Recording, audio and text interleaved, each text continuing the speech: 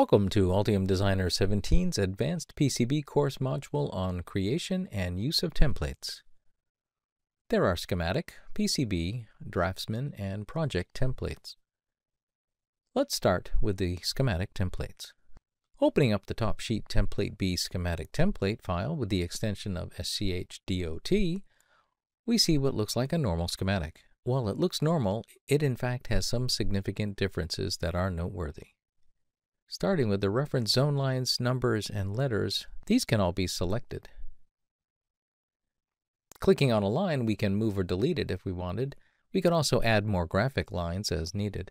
In fact, this is how the original template was created by adding graphic lines. When a schematic has a template added, all the elements in the template, the lines, the text, and the images are added like a watermark to the SCH doc schematics, and they can't be selected. Looking at the title block in the bottom right of the page, we can see the Altium logo.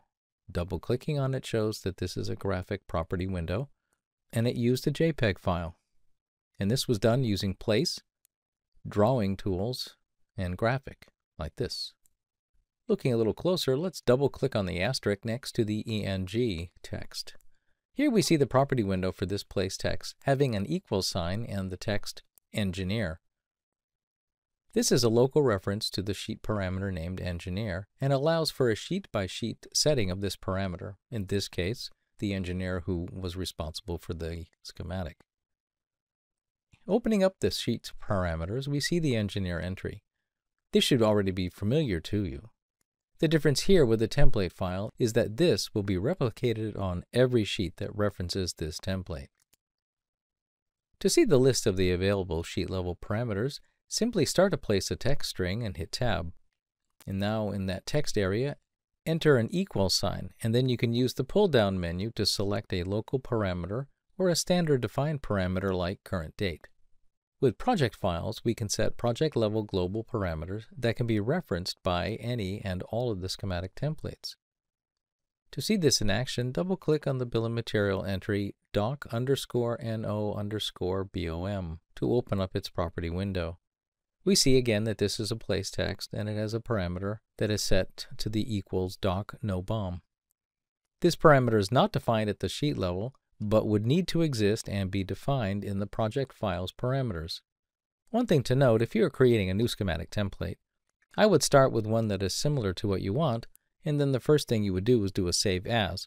And this is important, selecting the advanced schematic template SCHDOT file type. The default save, even for a template file, is the normal schematic.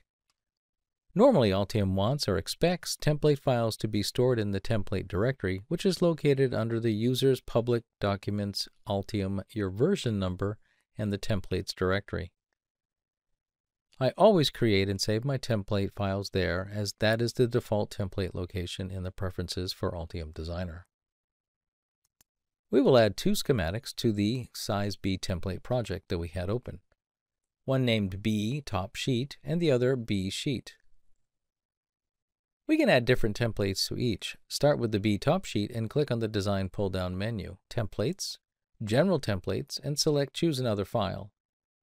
Navigate to the Exercise Templates and pick the Top Sheet Template B template file. Now the Update Template window opens and we want to select just this document, so we can use a different template for the other schematic. And also we want to pick replace all matching parameters to bring in from the template all of its parameters and their values. Click OK and the template is loaded into this schematic. There can be more than one template used and we will open the B sheet and add a different template to it, this time picking the next sheet template B as you can see. We could have chosen a different size template if we wanted. Any template could be used. Let's save all at this point to update the project and save the schematic changes. Now that we've looked at schematic templates, let's turn our attention to PCB templates. Adding the existing PCB template file called btemplate PCBdoc and opening it, we can look at the various parts. This file is a typical PCB file with added graphics and text placed on the various mechanical layers to provide a consistent look and content for the PCBs. With up to 32 mechanical layers possible, Consider having each layer assigned to a specific application like fabrication notes or board outline. Opening up the View Configuration window allows for editing the layer names as well as enabling hidden layers.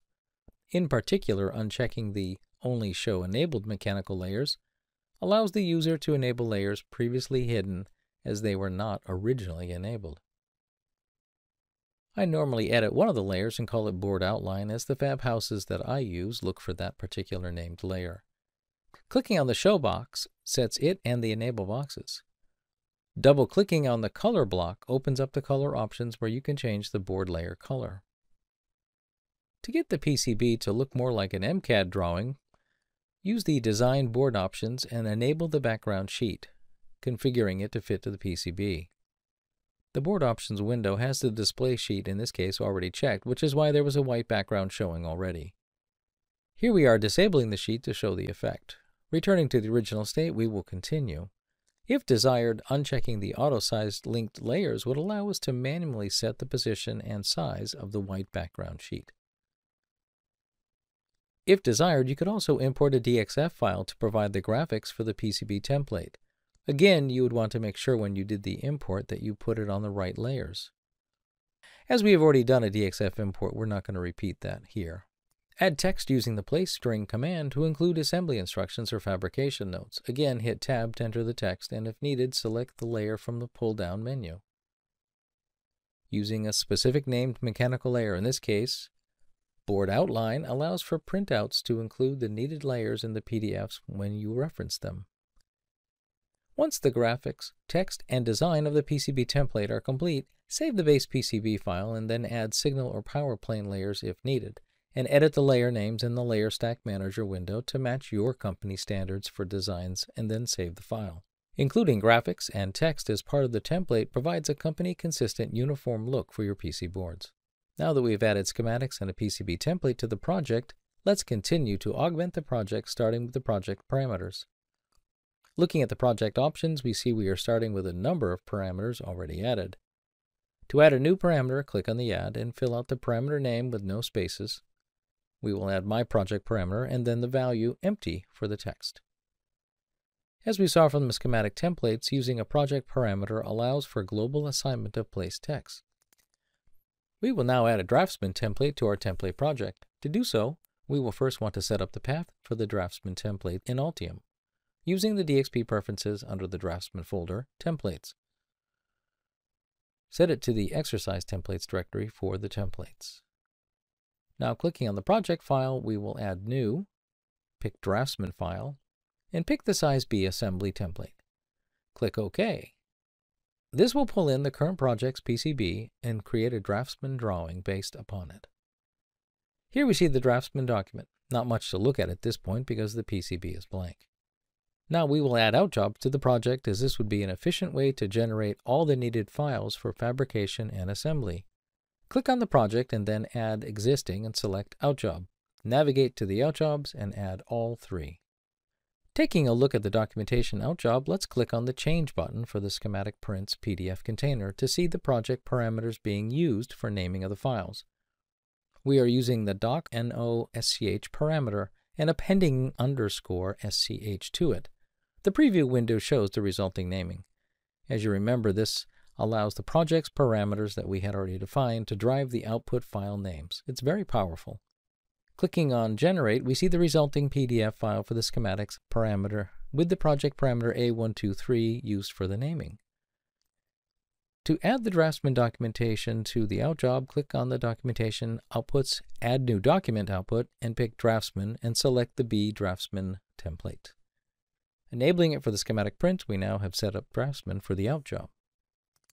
I went ahead and packaged up the project and then I'm copying it into the Altium template directory. Once copied, we'll now use it for the defaults when creating a new project file. Open up the DXP preferences and click on System, New Document Defaults. Here we will set the New Documents default field for the project by clicking on the three dots and navigating to the template directory to select the copied template project file. We'll do the same for the schematic and the template PCB file, and finally the Draftsman template file as well. Now we can use the predefined project template by right-clicking on the Projects panel window and selecting Add New Project PCB. This will use the defaults we just set up. At this point, you'd most likely want to save the project with a new name.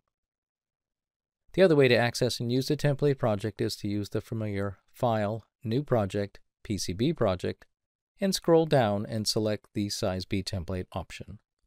Either way works and sets up a new project from the template project. This completes the instruction on template creation and use.